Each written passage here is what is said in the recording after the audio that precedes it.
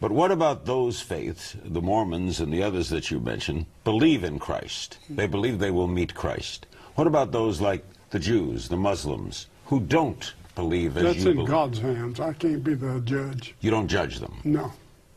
No, How I do you feel you're when- going to hell and you, oh, I don't, How do you feel when you see a lot of these strong Christian leaders go on television and say, you are condemned, you will live in hell if you do not accept Jesus Christ? And they, they are forceful and judgmental.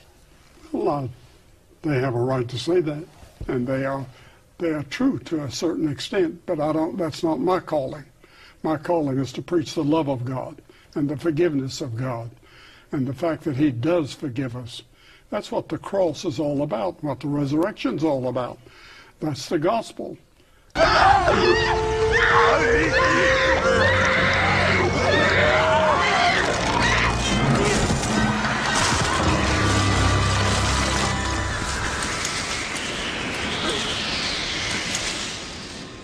He chose poorly